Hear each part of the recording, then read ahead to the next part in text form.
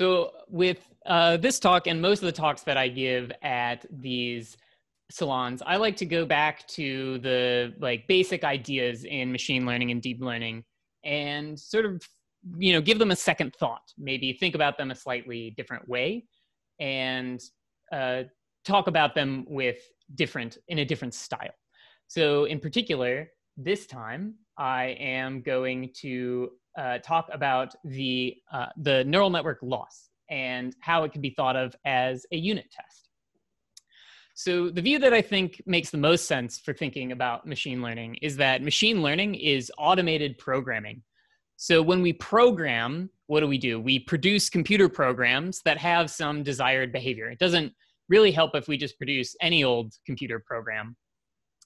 And so when humans program, when humans do it, they write code. So we reason about the desired behavior and then we encode text files with that reasoning. When machine learning algorithms optimize models, when we automate programming with machine learning, the they observe desired behavior and then they encode parameter values to match that behavior. This is a very different process. They have the same end result, which is a computer program, whether it's you know ResNet.py or HelloWorld.py, but the process by which they come about is quite different. Uh, but let's focus on the similarities first, which is we need in both cases to ensure that our programs have that desired behavior. So for machine learning, we use loss functions and optimization algorithms. Uh, the optimizer will write some parameters that make the loss go down. Uh, and that is the way that we try and ensure that our machine learned algorithm is behaving correctly. For human programming, we don't use loss functions, at least I don't when I'm uh, writing Python code. We use tests of desired behavior. So humans eh, are going to be writing text files that make the tests pass, right? Our goal is that the code that we write passes all of the tests in our testing suite. what I think is interesting about looking at it this way is that both of these approaches are flawed. They have failure modes. The loss, making the loss go down on the training set doesn't always give us a good algorithm. Passing our tests does not always give us good code. And I think it's revealing that they actually end up sharing some of the same flaws. And some flaws are better known in in programming, in traditional human programming, and some are better known in machine learning. So the ethos that tests should drive development is the is encapsulated in the principle of test-driven development, which is a workflow that says, first, I decide on the behavior of a new feature for my code. Then I write tests that will only pass if that feature behaves correctly. Then I write code that passes those tests and then I repeat this over and over again. I come up with a new feature, I write more tests, then I write more code in that order. So what does it look like to think of machine learning in that way? Well, in, in that case, we're actually going to be using loss-driven development instead of test-driven development. First, we decide on the behavior for a new data point, and that usually means loading the desired target, so especially in supervised learning. Then we'll write code that tests how close we are to the right behavior. And that's exactly what our loss function is when we think of our loss as a function of the parameters. It tells us how close did we get to doing the right thing. Then uh, we update the model so that we do better on that test, right? So we use something like gradient descent or Adam or whatever optimizer it is that we're using to update the model to improve our performance on the test. And then we do that over and over again. We come up with a new behavior that we want from a new data point and then or a batch of data points and then we use the loss and the optimizer once again to improve the uh, improve our behavior on that that new test so this connection here is clear for an idea that's maybe taken a while for machine learning to really uh, internalize which is the idea of out of distribution data so the most common failure mode for test-driven development is that the testing suite that we have is just not broad enough to cover what's encountered in real life when we get into production. We tested a whole bunch of things, but we didn't test what happened when somebody uses a name that's entirely composed of emojis. So our tests weren't, weren't they didn't cover everything. Similarly, machine learning models can fail when the test when the training set is not broad enough to cover what is encountered once they're in production. We don't have pictures of blue stop signs in our self-driving car data set, but maybe they're out there somewhere in the world. So this is the problem of generalization to out of distribution data, and it's as unsolved for machine learning as it is for test-driven development. But I'd be interested to see if there are any ideas from test-driven development that could help us rethink how we might handle this out of distribution data problem. Another one problem that's actually maybe easier to understand in machine learning and maybe less common in test-driven development is the problem of overfitting.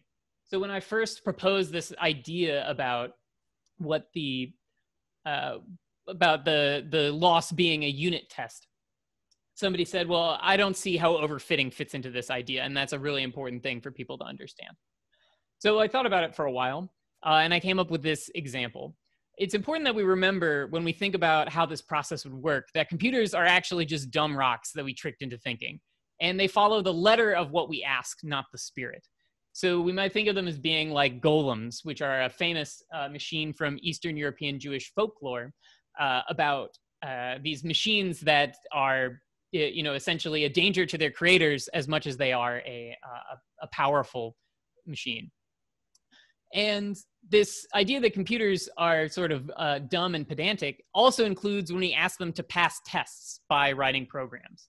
So if we are uh, if we're you know when we ask a human to write code that passes tests they look at the tests and they try to come up with an, a good faith effort to write a good program that passes those tests they look at the name of what we want you know print hello world or divide by two and they try and come up with a, a good program uh, but computers aren't going to do that so to extend this idea this analogy so that it covers overfitting I imagined what might happen if programmers were being incentivized the same way our machine learning algorithms were. So imagine what might happen if programmer salaries were tied to test passing and nothing else. Doesn't matter if the website goes down, doesn't matter if all the users on the Google Play Store give us zero stars. If we pass the tests, we get paid, right? And also, those tests were uh, were written by somebody else, and they're going to execute the the tests themselves, but they're never going to read our code, right? They're just going to look, okay, did you pass the tests or not? And I think if you think about it that way, it's clear that test driven development is not going to be enough. Uh, and to exemplify just how badly this can go wrong, I came up with this extremely cursed and unpleasant Python uh, example, which is so when we write our tests, we usually say something like, okay, there's this function foo that's in my implementation file. And in my test, what I'm going to do is I'm going to give foo some argument, and then I'm going to expect that it gives a particular output. And passing the test means that the output of foo is the expected output. This is a very common style of test. So I imagine what I might write if my salary depended on passing this test and nothing else. Uh, and I came up with uh, this guy, this implementation of foo, which I checked in PyTest does indeed pass the test on the left without doing anything sensible whatsoever.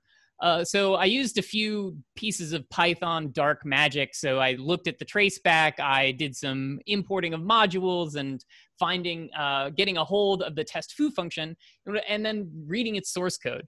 And inside that source code, I looked for an assert line, right? Because the tests that are going to be run are probably going to be assert statements. And then in that assert statement, I pull out what I'm supposed to put, uh, what I'm supposed to return, and then I just return that. Uh, so, you know, whatever the test says they want, return it. But this is clearly, you know, not what any reasonable person would want code to do. Uh, so this is an example of overfitting to the tests. I have written code that passes the test, but it does nothing else. And this is exactly what our machine learning models do when they overfit to our training data. They become good at giving the desired behavior on the training data, but terrible at everything else. So what would the solution be? you know, besides coming up with a better workflow than, you know, shackling your programmers to passing tests. So if there are some tests that these programmers cannot see, but on which they'll be evaluated, then they have no choice but to examine the tests and try and actually implement the right program, a program with the behavior we actually desire. Even, you know, no matter how nefarious they are or how lazy, like this is the only option that they have. Similarly, if there are data examples that the model cannot see, but on which it is being evaluated, then the best performing algorithm will be the one that examines the pattern of the examples and selects parameters that result in the desired behavior. And this is exactly what we do when we do a valid, like when we hold out a validation set, right? When we do cross validation. We say, here are some points you've never seen before. How are you doing on this? For programming, that would mean take some tests and apply them to the code and see, okay, do you pass these tests that you've never gotten a chance to see? And this also, I think, brings some interesting insight into a phenomenon called catastrophic forgetting. So it's been known for a really long time, back since neural networks were thought of as connectionist psychology, so you know, way back in the 80s, that they're subject to a phenomenon called catastrophic forgetting, which is that if you take a network that's been trained to, say, solve ImageNet, and then train it on a task that's, say, take ImageNet images and tell me whether they're red or green, uh, then the performance on the first task will actually plummet over time and it's this will even happen if the tests if these two tasks are very close to each other. So this is represented in this figure over here. Uh, what this figure represents is uh, on the y-axis are the performance on three different tasks. So let's focus on this one up here. So first we train the network on task a and it gets good at that task. Then we start training it on task b. It gets good at task b but it starts getting worse at task c. And then we start training it on a third task task c and it gets even worse. And over time, it will get back to you know completely random performance on the original task as it continues to learn these different things. So this is a surprising phenomenon. I think a lot of people aren't necessarily expecting it. Can we get some intuition to it by thinking about the loss as a unit test? So the important thing about unit tests is actually that they're meant to be run before each commit. This is why when we're doing test-driven development, we use continuing, uh, like continual integration. We make sure that every time somebody tries to add code to our code base, the tests get run. These prevent code regression, right? Where we lose behavior that we had previously and we wanted in a new update. So this is something that actually Francois Chollet pointed out in a recent tweet. He said that the purpose of unit tests is not really actually checking correctness now. It's to ensure that you don't get code regression, that you don't get future breakages. Uh, so this is this is the real import of tests it's you know probably the primary utility of writing tests is in is is when they are run with each commit. But catastrophic forgetting actually happens when we stop testing right? We when a network trained on one task is then trained to perform a new task the original task loss is not invoked while we're training for the new task. We don't go back and say oh by the way you also still need to be good at task a. And this is equivalent to no longer testing for that old desired behavior right? So it's like turning off the tests for your original for module A while you're writing code that is in module B and that both of them end up touching. And so it should be no surprise that we get neural network performance regression in the same way that we would get code regression in a traditional software model with test driven development. So the central analogy here of the loss as a unit test is that in in we're still programming when we're doing machine learning. Uh, the optimizer is our programmer, and we are now the managers. Uh, and so instead of using tests to ensure that our our programmer is doing the right thing, we use loss functions and optimizers. And uh, but otherwise, there's a lot of connections, a lot of similarities to what happens when humans program uh, and when they use test-driven development. So they share the same flaws and they share the same strengths.